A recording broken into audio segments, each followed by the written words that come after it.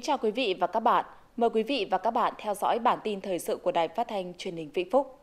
Sáng nay, đồng chí Lê Duy Thành, Phó Bí thư tỉnh ủy, Chủ tịch Ủy ban nhân dân tỉnh và đồng chí Vũ Trí Giang, tỉnh ủy viên, Phó Chủ tịch Ủy ban nhân dân tỉnh chủ trì họp phiên thường kỳ tháng 11, bàn và thông qua một số nội dung chuẩn bị cho kỳ họp cuối năm của Hội đồng nhân dân tỉnh khóa 17. Báo cáo tình hình kinh tế xã hội của Ủy ban nhân dân tỉnh nêu rõ, năm 2022, mặc dù chịu nhiều tác động của tình hình kinh tế trong nước và thế giới, nhưng Vĩnh Phúc vẫn đạt được những kết quả ấn tượng trong phát triển kinh tế xã hội. Các chỉ tiêu kinh tế xã hội đều đạt và vượt kế hoạch đề ra. Tổng sản phẩm trên địa bàn tỉnh GDP ước tăng 9,2 đến 9,8% so với năm 2021. Ước tổng thu ngân sách nhà nước trên địa bàn tỉnh đạt 35.700 tỷ đồng, tăng 8,5% so với cùng kỳ. Thu hút vốn đầu tư tiếp tục khởi sắc. Tổng số vốn đầu tư cấp mới và tăng vốn các dự án FDI đến tháng 11 đạt 350 triệu đô la Mỹ, bằng 87,5% so với mục tiêu đề ra, và các dự án DDI đạt 12.500 tỷ đồng, bằng 119% so với mục tiêu đề ra. Kết quả giải ngân vốn đầu tư công đến hết tháng 10 ước đạt 59,53% kế hoạch năm. Các hoạt động văn hóa, xã hội, giáo dục đào tạo tiếp tục phát triển, đời sống nhân dân được nâng cao. Tại phiên họp, Ủy ban nhân dân tỉnh đã thông qua các báo cáo, tờ trình quan trọng chuẩn bị cho kỳ họp cuối năm của Hội đồng nhân dân tỉnh khóa 17.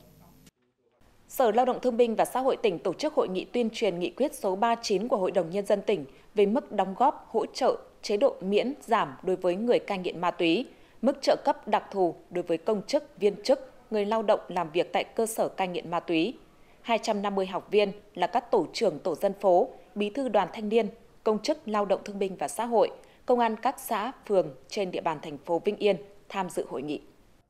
Tại hội nghị, các học viên được giới thiệu những nội dung cơ bản của nghị quyết số 39 của Hội đồng Nhân dân tỉnh về chính sách hỗ trợ của tỉnh đối với người nghiện tham gia cai nghiện ma túy.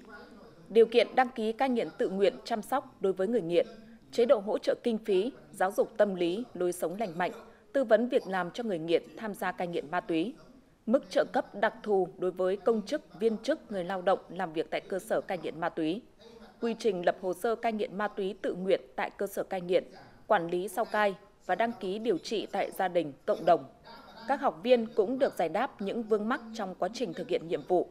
Thông qua đó, giúp các học viên nắm vững nội dung cơ bản của nghị quyết số 39 Hội đồng Nhân dân tỉnh, căn cứ và điều kiện thực tế tại từng địa phương, kịp thời ra soát, tham mưu, thực hiện có hiệu quả công tác cai nghiện ma túy, tăng cường công tác vận động đến những gia đình hiện đang có người thân tham gia quá trình điều trị tại cơ sở hoặc cộng đồng có sự quản lý, tăng cường việc thực thi các quy định của pháp luật, đưa nghị quyết số 39 của Hội đồng Nhân dân tỉnh thực sự đi vào cuộc sống, đạt hiệu quả thực tế trong công tác điều trị người cai nghiện trong tỉnh hiện nay. Tri Cục Trồng Trọt và Bảo vệ Thực vật tỉnh tổ chức hội nghị tham quan mô hình sản xuất rau hữu cơ tại xã Định Trung, thành phố Vĩnh Yên. Hội nghị có sự tham gia của đại diện Phòng Nông nghiệp và Phát triển Nông thôn, Phòng Kinh tế các huyện, thành phố, một số doanh nghiệp hợp tác xã sản xuất rau trên địa bàn tỉnh. Mô hình sản xuất rau hữu cơ tại Hợp tác xã Sản xuất và Thương mại Định Trung, xã Định Trung, thành phố Vĩnh Yên được triển khai với quy mô 3 hecta trong thời gian 3 năm, từ 2020 đến 2022. Để mô hình được triển khai có hiệu quả, trước khi sản xuất, Tri Cục Trồng Trọt và Bảo vệ Thực vật đã tổ chức tập huấn cho 35 hộ trực tiếp tham gia mô hình và một số hộ nông dân khác trên địa bàn xã về kỹ thuật trồng, chăm sóc, phòng trừ sâu bệnh hại theo quy trình sản xuất rau hữu cơ. Hàng năm, Tri Cục đều cử cán bộ trực tiếp phối hợp với Ban Quản lý Hợp tác xã, Sản xuất và Thương mại Định Trung, hướng dẫn các hộ ghi chép nhật ký sản xuất, chăm sóc, phòng trừ dịch hại,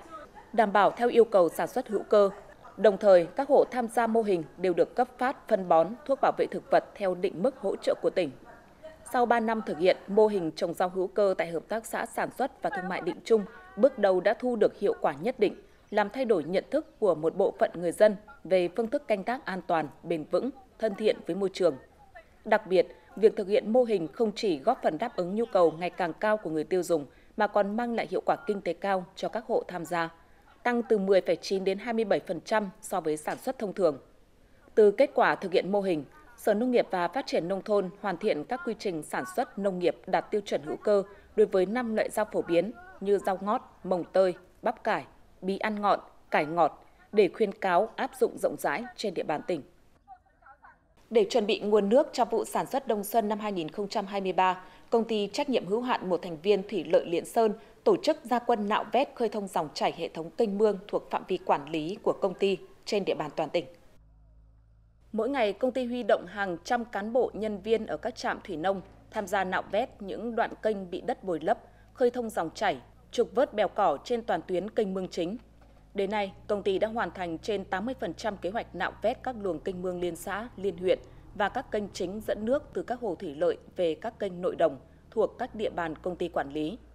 Bên cạnh đó, công ty cũng đã huy động các phương tiện máy móc, trang thiết bị, vật tư để sửa chữa kịp thời những đoạn kênh bị hư hỏng. Đồng thời, vận động nông dân ở các địa phương nâng cao trách nhiệm cùng tham gia bảo dưỡng kênh mương nội đồng, nâng cao ý thức tiết kiệm, sử dụng có hiệu quả nguồn nước phục vụ sản xuất nông nghiệp.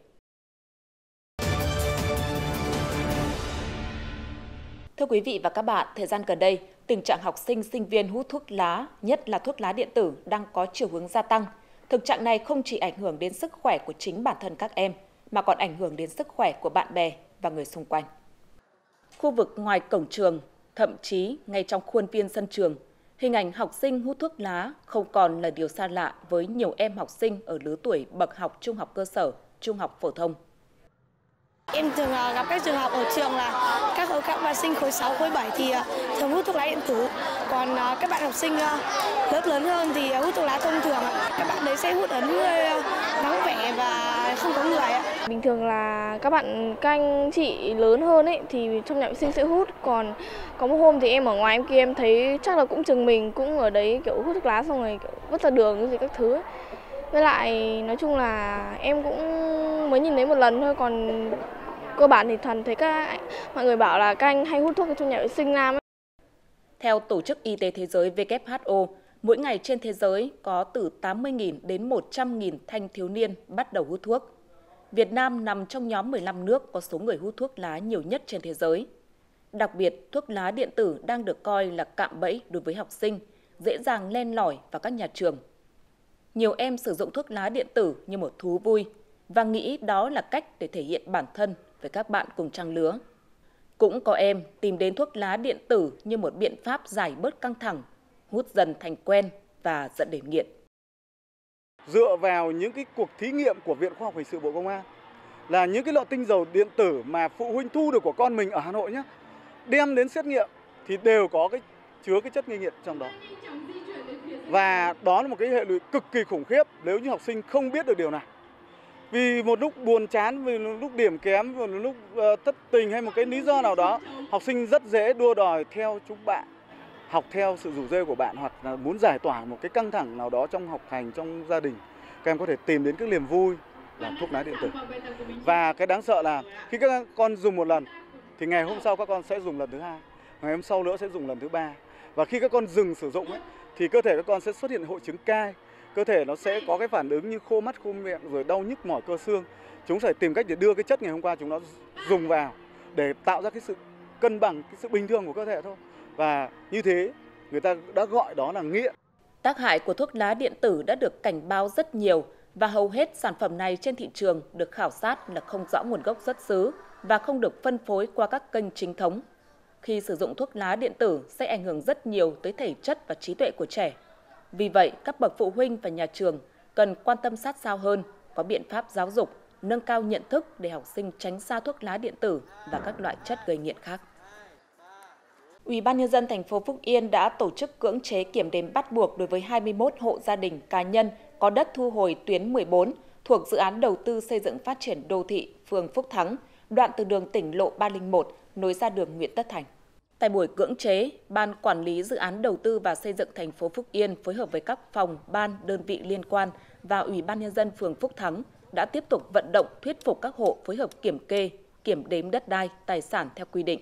Sau nhiều lần tổ chức đối thoại, thông báo, niêm yết công khai tuyên truyền vận động để kiểm kê tài sản, đất đai, phục vụ công tác giải phóng mặt bằng thực hiện dự án. Nhưng các hộ dân không phối hợp kê khai, kiểm đếm. Với sự chuẩn bị kỹ lưỡng mọi tình huống, công tác cưỡng chế kiểm đếm được thực hiện đúng quy định pháp luật, đảm bảo an toàn. Các cơ quan chức năng đã tiến hành đo đạc, kiểm đếm bắt buộc trên diện tích đất của các hộ theo đúng trình tự, quy định của pháp luật. Cơ quan Cảnh sát điều tra Công an huyện Lập Thạch vừa khởi tố vụ án hình sự, khởi tố 9 bị can về tội cố ý gây thương tích.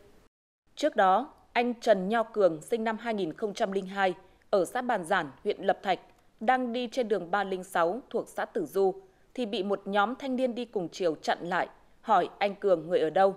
Khi anh Cường trả lời là ở xã Bàn Giản, thì bị nhóm thanh niên dùng vỏ chai thủy tinh tấn công, làm anh Cường bị thương tích nặng, tổn hại 37% sức khỏe.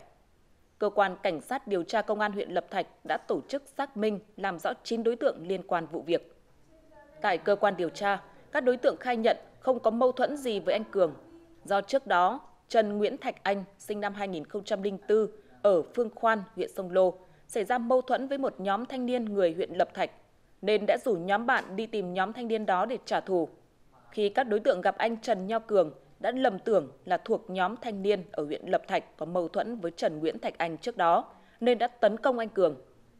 Đến thời điểm hiện tại, cơ quan cảnh sát điều tra công an huyện Lập Thạch đã bắt tạm giam 8 đối tượng, còn một đối tượng là Nguyễn Trần Quyền, sinh năm 2004 ở xã Kim Xá, huyện Vĩnh Tường, đã bỏ trốn khỏi nơi cư trú. Cơ quan cảnh sát điều tra công an huyện Lập Thạch đang tiếp tục điều tra vụ án.